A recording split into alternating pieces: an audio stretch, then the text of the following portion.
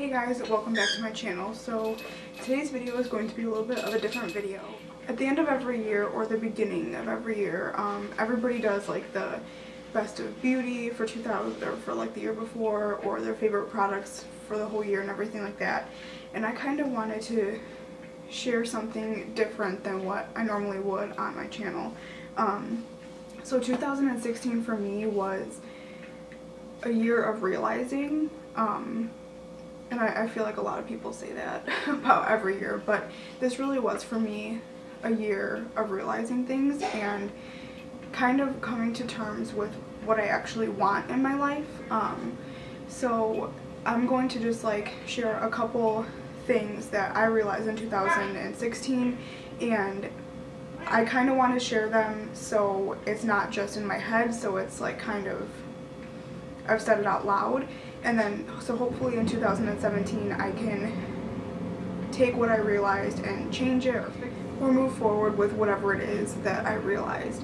Um, so this isn't going to be like a 20 minute video on like, you know, like things that I want to change about myself or anything like that.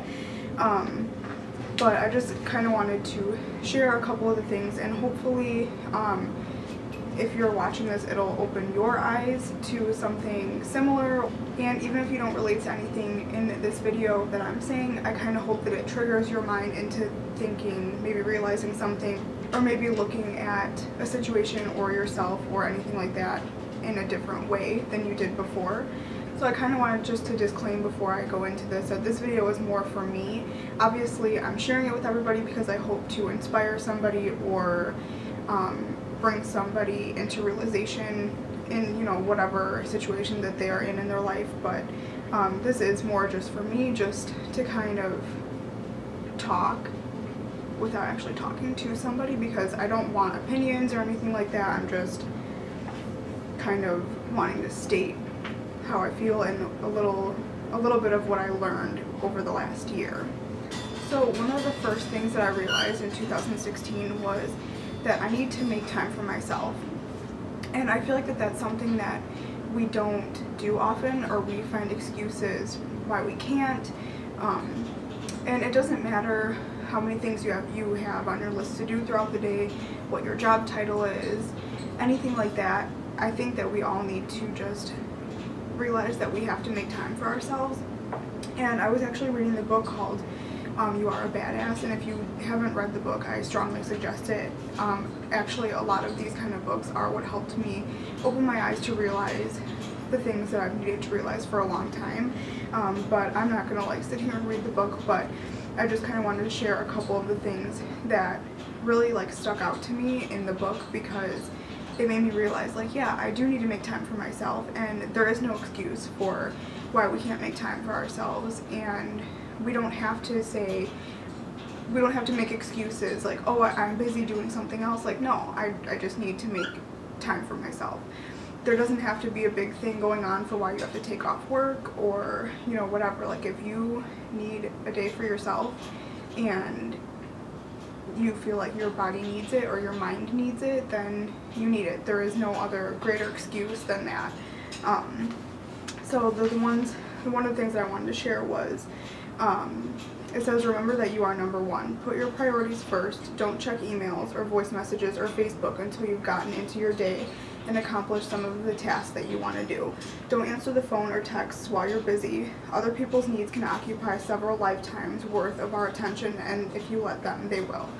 And that kind of stuck out to me because I'm like, literally when I'm like going about my day, as soon as somebody texts me, I like grab my phone and I'm like, like looking at it and I'm like why am I doing that? I need to take a second finish what I'm doing stop getting overwhelmed and stressed stressed when little things like that interrupt what I'm doing for myself and the things like that can wait. Aside from the sickness factor making the time to do things that inspire you should be a priority because um what's the point of living life without them? Where's the fun in waking up at 80 oh Ringo Where's the fun in waking up at 85 and realizing you couldn't find the time to enjoy yourself? Rain. Mom, do you hear him? Because I feel like you he always hear a lot of pe people saying that they wish they would have done Ringo. So that actually stuck out to me too because um, I realized that I feel like we're always our excuse all the time for doing the thing for not doing the things that we want to do is because we didn't have time. The next thing that I realized in 2016 um, is that not that I not that I didn't ever stay true to myself, but I realized that I really need to start only staying true to myself and not doing the things that I don't think are right or I don't agree with and there's really no like specific situation that I'm thinking of. I just, me as a person, I'm very like, the things that I believe in, I'm very strong about that. And I realize that I need not to just do things because other people are doing them or somebody said I should do it or anything like that. Um, mainly just like not that I normally don't stay true to myself, but I really need to focus more on staying true to what I believe in and only doing things that I agree with as well. Um, I actually had a client um, tell me that obviously like she looks she's like I love the way you do my hair obviously but one of the main reasons why I do keep coming back to you is because I feel like you're such a genuine person and that kind of like I was like really happy that she told me that because I do try like I, I will never I will never sugarcoat things for you. I say it like it is and I do feel like that was like a really good compliment. Like I always just try to be genuine and for somebody to recognize that and then let me know that it really um, it really made me feel good and I just realized that that is like one of the things that I strive to be is just a genuine person. If I don't like the way something's going or, you know, like I'm not going to do things that I don't want to do and I don't agree with and I really, everything that I do in life, it wants to be something that I agree with 110% and I never want there to be any hidden meaning behind anything or anything like that. The last thing that I wrote down is not to waste time with things that don't either inspire me, make me laugh, um, or happy or just make me a better person in general. and that kind of sounds like duh no-brainer um, but you'd be surprised at how many things we like wrap ourselves in and like make our life about that isn't even going to benefit us as a person or anything like that in the long run. And really for 2017, I really just want to make sure that from here on.